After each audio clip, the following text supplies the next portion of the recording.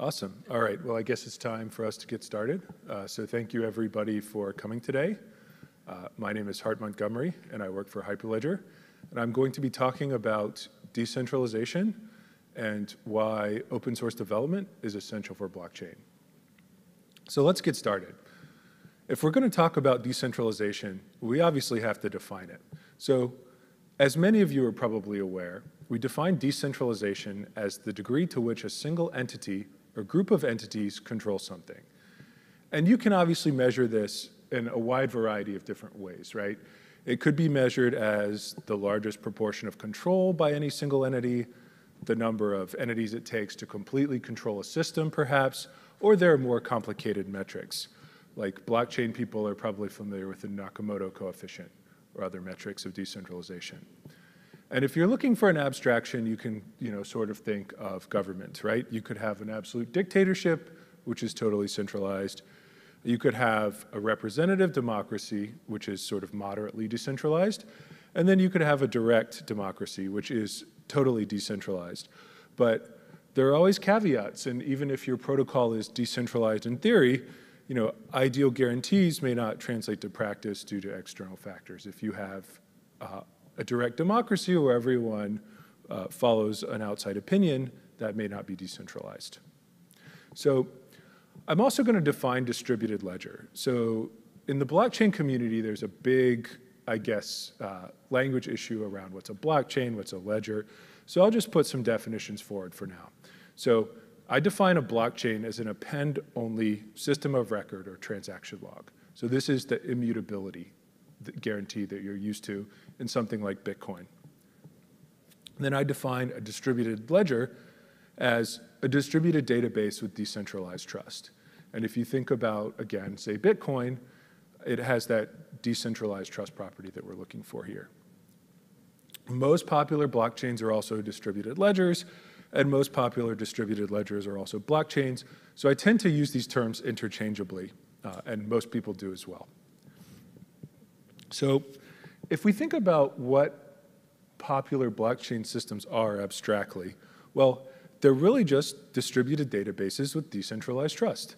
Bitcoin is sort of a distributed database for what we'll call money with decentralized trust. Ethereum is a distributed database for, I call it programs with fully decentralized trust. And Fabric, for instance, is a distributed database with partially decentralized trust. It's not necessarily as decentralized Uh, as Bitcoin or Ethereum.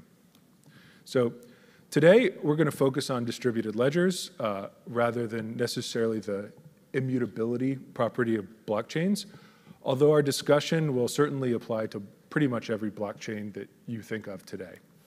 Um, so the immutability properties of blockchain can be great for a lot of public applications, uh, but not always for enterprise solutions. For instance, if you have GDPR regulations, immutability can be a very bad thing. So the core property we use today is actually decentralized trust. So what is decentralized trust? Again, if we're thinking of a database or a blockchain as sort of a store of records, who gets to decide what records belong in the database? If one person or one entity decides, then we have a very centralized database. And if many different entities decide, we have a decentralized database. And again, Uh, trust is a continuum. It's not a yes or no situation. So technically speaking, and we'll go into this in a lot more detail, the consensus algorithm is the most impactful design choice on decentralization, but there are many other choices to make. So if we have our blockchains, we sort of have a continuum of fully decentralized to fully centralized. So the most decentralized systems are things like Uh, Bitcoin, Ethereum, Cardano, Ava, these public cryptocurrencies with uh, proof of work or proof of stake consensus. Slightly less decentralized are distributed ledgers with BFT consensus, and we have several of these in Hyperledger.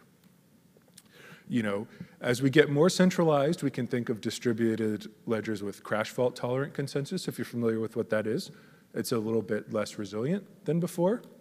Uh, And finally, you know, eventually, we reach traditional databases, which are fully centralized. So why do we want decentralized trust? What's the reason? Well, there are many possible reasons why we want decentralized trust. For instance, we could have several entities that need to agree on some data, but no single entity trusts any other entity to be the source of truth. Um, you know, we could have a store of information that needs to be made redundant in the case of compromise or attack by a hacker. We could have a case where the entity that would be the best sort of official source of truth for something doesn't want to or can't be responsible for the upkeep of the data. And this is very common for government applications. Uh, and finally, we could have cases where the people responsible for maintaining a data set are dynamic and change very quickly, and we sort of keep track of all the changes. So if you take away anything today, and you know the blockchain experts in the audience probably, I'm sure already know this, but the question you should be asking is, when you ask, do I need a distributed ledger, you should ask, do I need a database with decentralized trust? And you know, if, if you're new and this is, you're, you're just learning blockchain, this is the one point to ask. If you need decentralized trust, you need a blockchain. If you don't, then you probably don't need a blockchain. So when you think about blockchains or whether you want to use a blockchain, you want to consider sort of what's the information being stored in the, the database, even if it is a programmatic database, and why is having one centralized entity maintain this information a bad idea or impossible or infeasible? And this will make it easy in the future for you to determine cases whether distributed ledger is just hype or actually necessary. And so, of course, people ask all the time, you know, are there real use cases for a database with decentralized trust? And uh, obviously, because, well, you know, the answer is yes. Um, I really, you know, I think this has been borne out by lots of real world use cases. Um, we've seen widespread adoption in Hyperledger of applications with real world value added to existing enterprises and you know that aren't connected to a lot of the things you see about token speculation. And I also think there are great real world applications of public chains too. So I don't want to say, you know, you should ignore public chains. I think they have great use cases, uh, but they also get obfuscated by some of the less good uh, applications connected to token value speculation. Um, and I'm just going to sort of display a couple of slides. Just, I, you don't need to read everything here, but just to sort of show you how widely technology has been adopted in this space. And this is just Hyperledger stuff. Obviously, there's an ocean of blockchain applications beyond Hyperledger. So one of our big applications is finance. It's a great area where people want distributed databases with decentralized trust. Maybe you've been following the CBDC or the central bank digital currency landscape, and this is sort of taking the world by storm. Um, supply chain is another big one. Um, and if you want, I'll be happy to explain the rationale for all these use cases after the talk. Uh, I don't have time to go into detail about them now, but feel free to ask me afterwards and I'll explain everything. And many of you, well, may know about uh, digital identity. Have, have people seen digital identity applications before? Yeah, this is another great case for distributed databases with decentralized trust or essentially blockchains. So I just have a slide about a distributed ledger you know, what does it look like? Because a lot of, you know, I get asked this all the time by people who aren't familiar with blockchain. Um, so this is the high-level architecture of Besu. Uh, we have a database layer, a smart contract layer, a consensus layer, and a networking layer. And I kind of want to go through this quickly because it seems like we have a lot of people familiar in the audience with, with blockchain. Um, but have, have people seen this kind of thing before? Are people comfortable with blockchain architecture? Yes, no, maybe? No? Okay. Um, well, so, so I'll explain this. So a blockchain is usually sort of modularized into four parts. Um, and there are four essential parts. How the data is stored, how the transactions are handled, which is the smart contract layer, uh, the consensus layer, which is sort of the high level communication platform, and the networking layer, which is sort of like how do the blockchain nodes communicate with each other. Um, so before we go any further, you know, I want to emphasize that we should not always use distributed ledgers. A lot of people uh, will try to oversell blockchain, and I want to you know make sure that that you don't come away with the impression that that we should use blockchain for everything. Um, so decentralization is a fantastic tool, and it gives us a lot of great guarantees in practice. But there are always drawbacks to using powerful tools. Um, and in fact, there, there are many issues with distributed ledgers, but there are two that I'll sort of talk about today, and that's privacy and confidentiality and uh, performance. Um, so these are challenging issues. Uh, so does anybody know what this is, or does anybody want to guess? Go ahead. Yeah, you're right.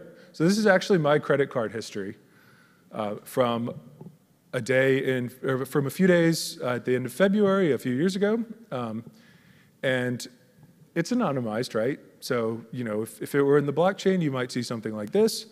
Uh, and, but you can learn a lot, right? So I have entries, uh, I have transactions in the South Bay, right, on snack machines.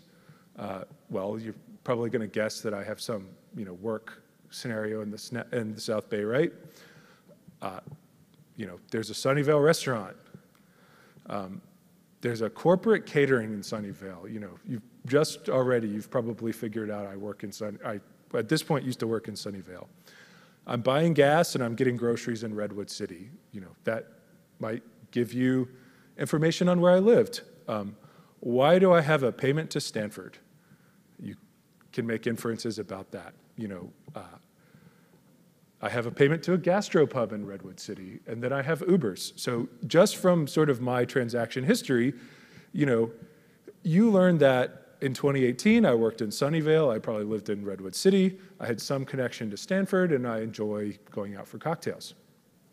Um, and this doesn't totally de-anonymize me, but we, if we did this over a whole month, uh, or, or, even a period of months, you could probably, you know, completely figure things out. And being anonymous, you know, didn't really buy me much, right?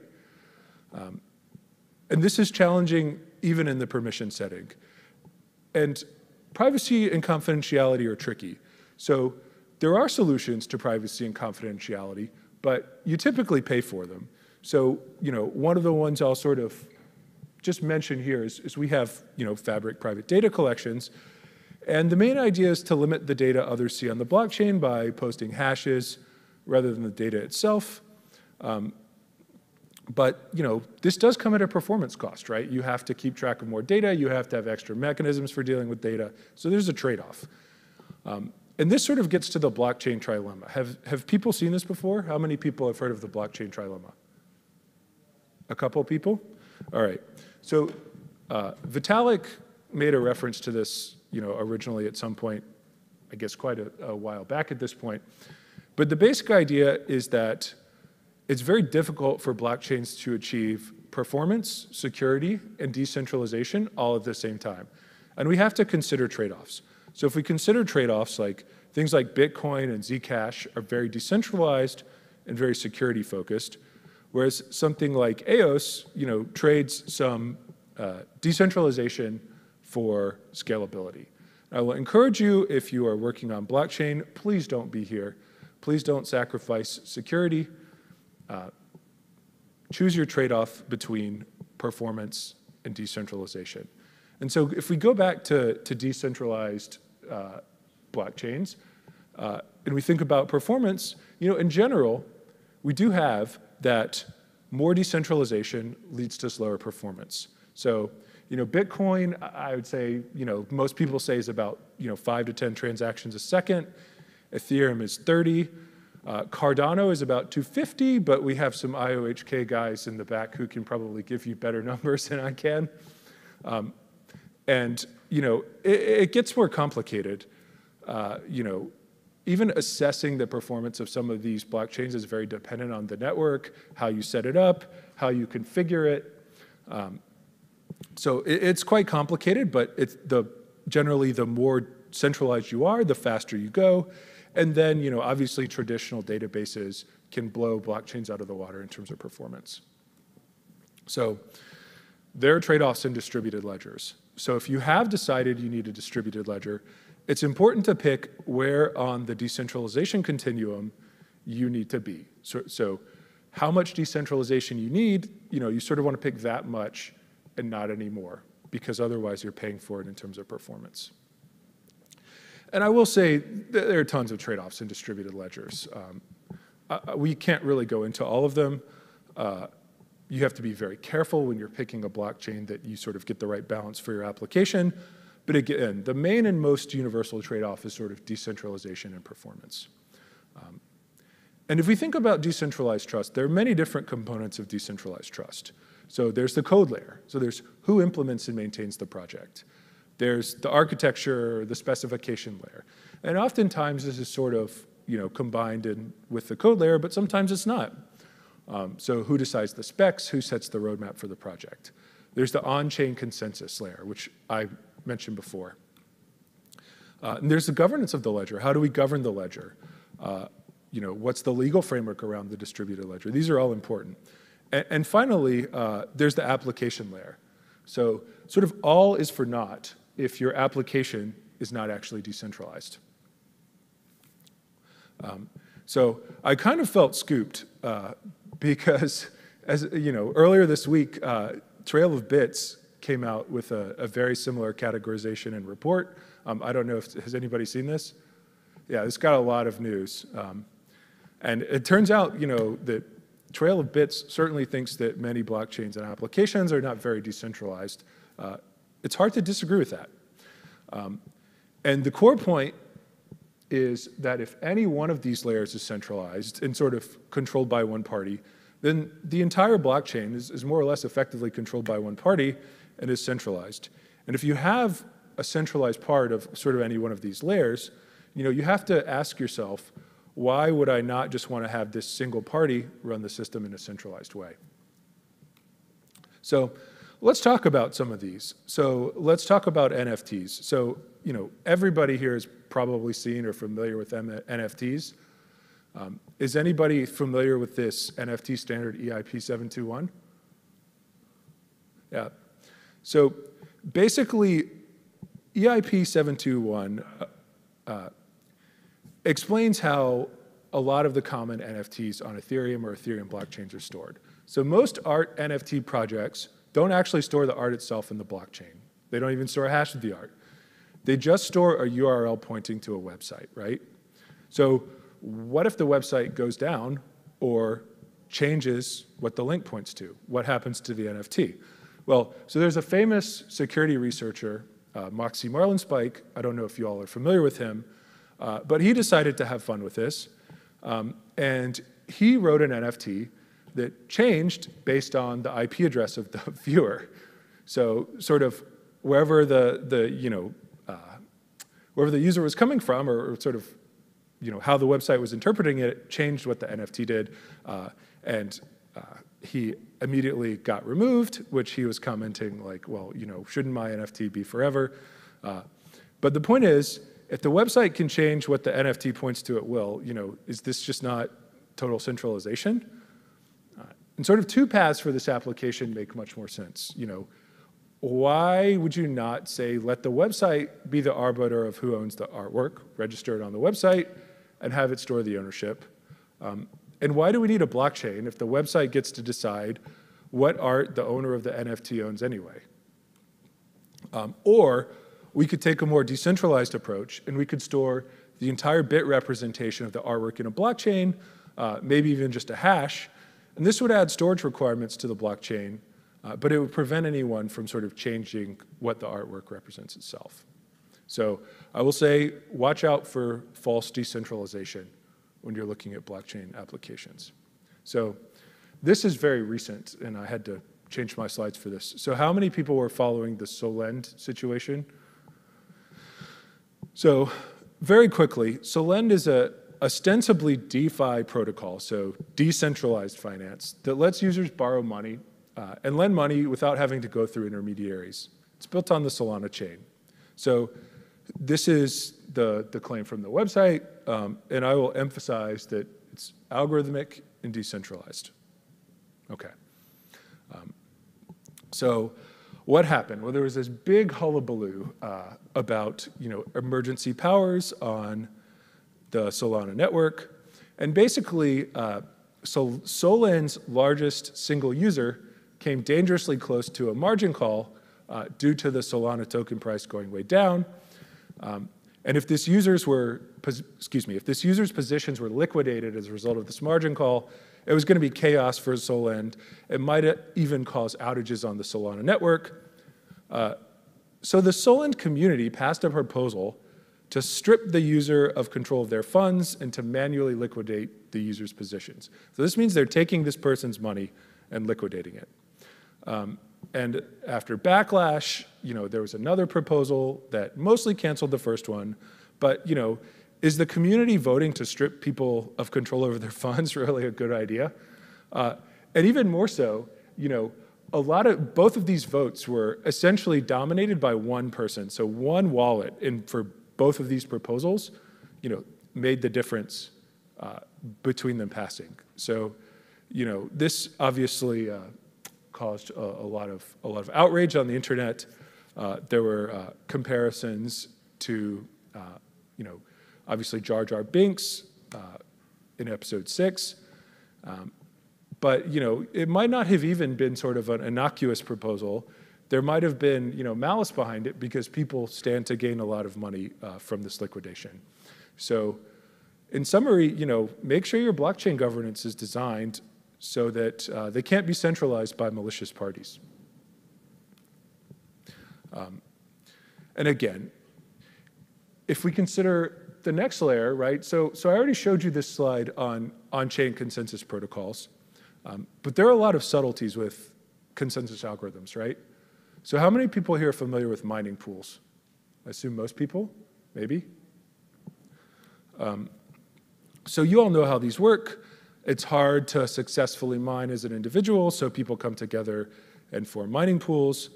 Uh, less money in the expectation, but you get a steadier stream of payments, so it's, it's worth it to reduce the chance. But mining pools are centralized, right? And, and the mining pool operator controls what transactions the miners in the pool propose, you know, as well as what chain they build. Um, so this is the current distribution of blocks. I think I pulled it a couple days ago. Um, so it's probably the past three days on like Tuesday.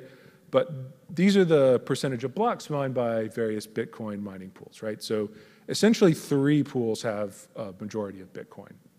Um, so that's three people that essentially get to determine the consensus. Uh, it's the same case for Ethereum too. Um, about three pools, you know, form a, a majority. Um, and a lot of people ask, you know, what happens when we go to proof of stake? Will it be better? So there's still issues with proof of stake too. A lot of people have a hard time running their own node with their own ETH, so they join staking pools. Uh, and these also present centralization problems. As you can see as well, there are about three staking pools that control close to 51%. And I will say, mining pools are difficult to fully analyze in terms of what they mean for decentralization. Uh, on one hand, users can always leave the mining pool if they disagree with its decisions, but on the other hand, users may be less happy with their financial rewards if they do so, right? If you join a smaller or less good pool, you might make less money. Um, so the question you have to ask is, will a rational user that cares mostly about their income be willing to leave a mining pool if the mining pool is, say, censoring transactions. Um, so, you know, I just want to emphasize that it's necessary to, to address the full trade-offs of consensus algorithms when it comes to decentralization, even for permissionless networks. Uh, and finally, you know, it's important to make sure that your decentralized protocol can't become centralized. So uh, are people here familiar with the Beanstalk attack? I thought this was very clever, and it was actually quite legal. Um, it was within the governance of the Beanstalk protocol. So an attacker uh, took out a flash loan. A flash loan, without getting into the technical details, is sort of a very, very fast loan that you get the cash and you repay super quickly. Um, they bought enough of the Beanstalk tokens to completely take over the protocol. So they sort of had more than 51% of the stake. They created a proposal to send all of the Beanstalk protocol funds to their ETH wallet uh, which they then passed because they had all the stake. Uh, they laundered the money and uh, profited. So uh, it's important to think carefully about whether your decentralized assumptions hold true. So Beanstalk assumed that you know, there would never be a single entity in charge of more than half of its voting rights, but that was obviously not the case. So moving on to sort of the next layer in the chain, um, it's very important that code and architecture design of a blockchain are also centralized. So here I sort of made up a traditional blockchain system. Uh, this is how most blockchain development works. We have a blockchain foundation that I've called Silly Foundation here. We have Silly Chain, and we have Silly devs that are, are a part of the ecosystem. Um, and typically the foundation, you know, manages the blockchain it, development, it may manage the chain, uh, and the devs are building applications. So what if one entity controls the blockchain development process?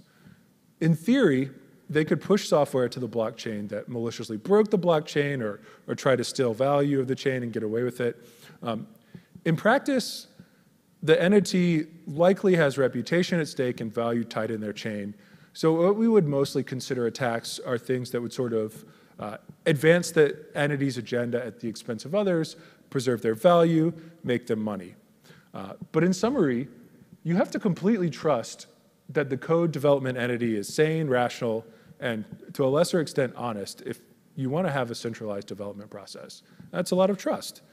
And, you know, if Silly Foundation has, you know, completely centralized control over development, then the devs have to trust it. And in this case, you have to carefully consider, you know, the advantages compared to having this Silly Foundation just run a centralized database. Um, people are probably familiar with this, right? This is a, a basic uh, code snippet outlining the, the, Ethereum DAO attack, if you all are familiar. Um, I think most people have seen that at this point. Um, so the point I want to make here is even using a degree of centralization, right? So when the DAO attack happened, the Ethereum Foundation very quickly pushed out an update and said, hey, okay, everybody, please get on board with this fix. Um, this caused a, you know, a lot of controversy, uh, even though it was, it was arguably doing a good thing and, and disincentivizing uh, large system attackers. Um, and this did change the governance, but I don't want to get into that right now. So what we sort of want when we have, you know, a foundation or something building blockchain code is we want to incorporate the community. We want it to be as decentralized, you know, as we possibly can. We want openness. Um, and I will state that I think an organization developing blockchain software should be maximally decentralized. We want it to resemble a, a, representative democracy of the stakeholders and people who contribute to the blockchain and its development as much as possible. So this means transparency, right? Decision making should be done in the open. Um, and also openness. We want anyone to be able to join, uh, and contributors should be able to reach leadership positions on their own merits rather than company affiliations. So we don't want pay to play.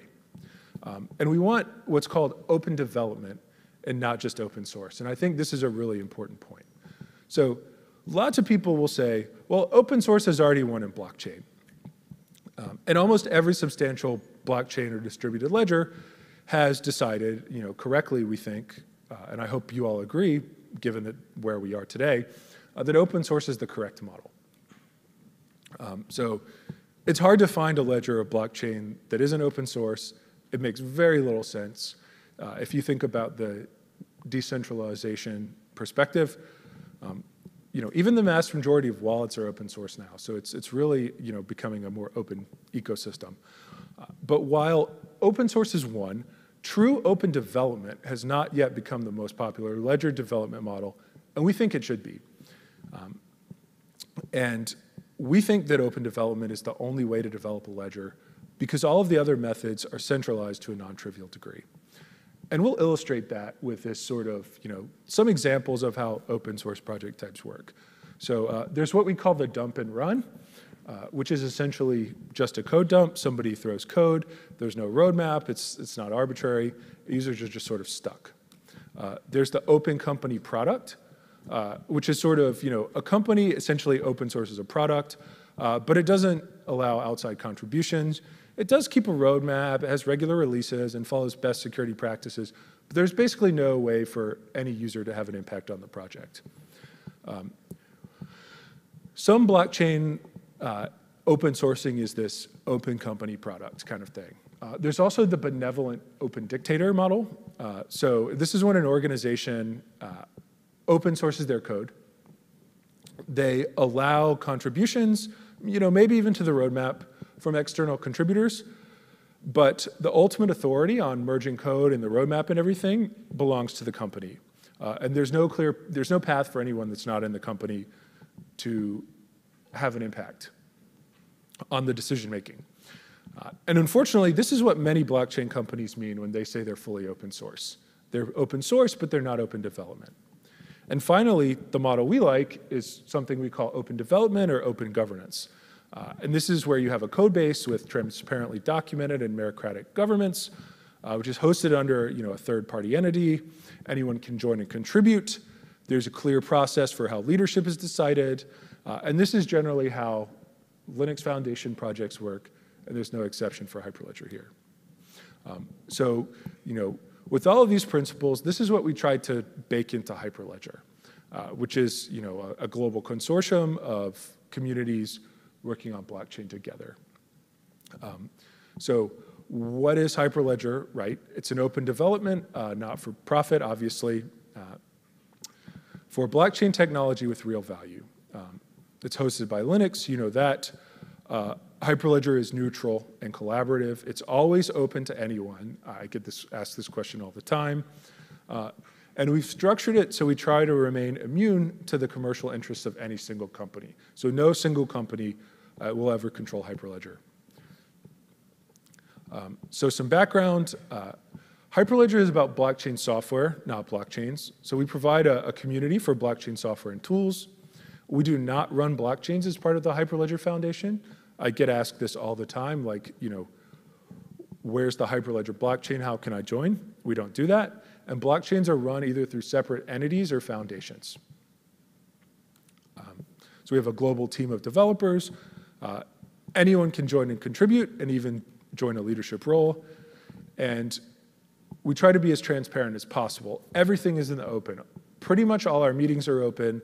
Our email lists are all open. There are very few that are not open, and the ones that are not open, like you know the security response list, are not open for a very good reason. Um, there's no pay to play, so you can, like other Linux Foundation projects, you can buy a membership in, membership in Hyperledger, uh, but it's mostly for community and marketing benefits. It doesn't give you, you know, extra uh, participation benefits. Um, we have a wide variety of blockchain projects. I'll just put that up there. Lots of different applications. Um, and you know, we have quite a bit of momentum. Uh, these are just some numbers. Um, we've had some of the fastest growth of any Linux Foundation project ever, um, and, and, these numbers indicate it. So, so finally, I'll conclude with a question I get a lot, uh, which is, how do I pick a ledger platform? Um, this, this question happens all the time. And my answer is usually the following. Well, first, you need to pick a ledger that satisfies the constraints of your application, right? If a ledger doesn't do what you want it to do, then, then sort of what's the point? And then pick a ledger that has open governance for its development. You want to pick something that's maximally decentralized. Uh, and I hope I've explained why that is a good idea. And finally, uh, pick based on the community um, because a community will have the biggest effect on the ledger's success in the long run. Um, and again, transparency, you know, uh, good communities will show everything. So this is, uh, you know, the, the Linux Foundation analytics statistics. Have, if people here familiar with LFX? Have you all used it before? Awesome. So yeah, you can see all of our contributor statistics. You can find out who's working in the community, where the company's from, you know, all this stuff. It's open, you know, we're transparent, so it's all there. Um, so yeah, thanks. I will say that if you're interested, we have our uh, global forum uh, in September in Dublin. Um, I think it'll be an exciting event and a good program. So if you're interested in blockchain and open blockchain, it's a great thing to go to. Um, if you're interested, want to join our community, you can ask questions on our Discord. And uh, yeah, thanks. Uh, that's it. Uh, and I'd like to answer any questions. Are there any questions?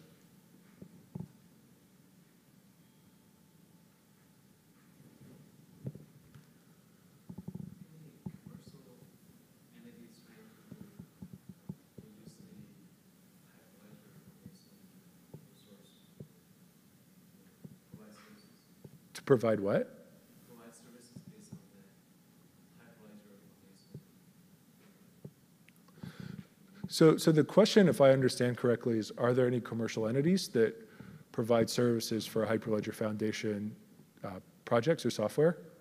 And the answer is yes, of course. There are tons of companies that do that. We have, I think, 180 member companies, and I would say probably most of them do that. Uh, and there are even companies that aren't members that do that. So I think that's a very popular business model around Hyperledger.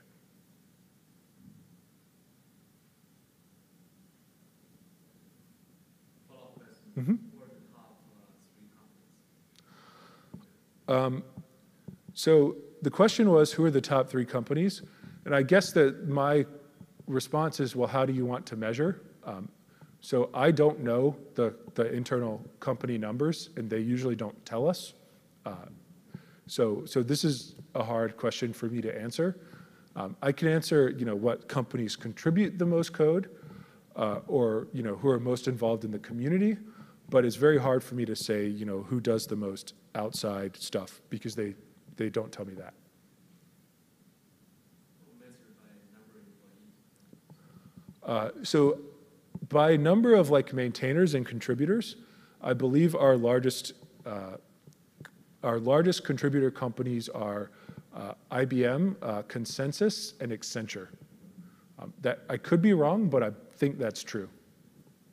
Um, And we could look up on, uh, we could spend five minutes on LFX and, and find out exactly. Do you have um, groups within the Hyperledger Foundation doing work around zero knowledge cryptography? How is that? What's the roadmap? Great question. Uh, As a cryptographer, I always love to hear questions about cryptography. Um, And the question was about zero knowledge proofs. Uh, Do we have, um, do we have anything around that? So the answer is yes. Our identity projects heavily rely on zero knowledge proofs. So we have some uh, basic zero knowledge code in our uh, Aries Indy Ursa stack. So the actual zero knowledge protocols are in Ursa, which is just a cryptography library, and they're typically called in Aries, which is our wallet library. Um, and Indy is sort of the blockchain layer for that. Um, we actually have a big PR outstanding in Ursa um, that has sort of gotten delayed due to uh, the, the whole project is doing a big refactoring. Uh, but it's about uh, a ZK interface style of protocol where you can write uh, you can write you know zero knowledge proofs and then have them uh, you have to write them in R1CS if you're familiar with that, uh, which is a bit complicated. But you can write a, an R1CS statement and compile it down uh, to a number of different uh, ZK proof systems. Um, and I guess that's the extent. A lot of our big, so I, Besu and Fabric, for instance, don't have any ZKPs uh, inherently built into them, you know, but you could certainly build on top of them.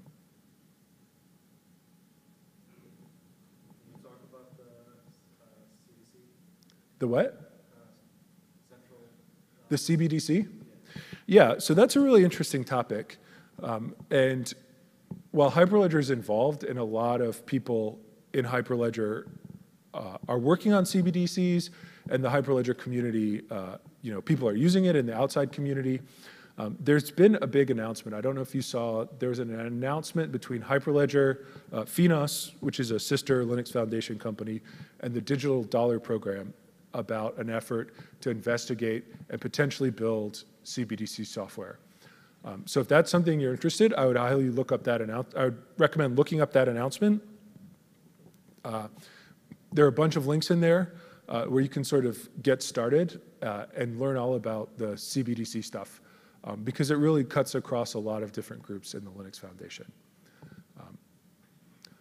Um, I would love to answer your question, but I think we're out of time. And if you catch me, I will hang around after the talk, and you're more than welcome to ask questions. Um, So yeah, thanks everybody for uh, attending, and I hope you have a great uh, rest of your conference. Thank you.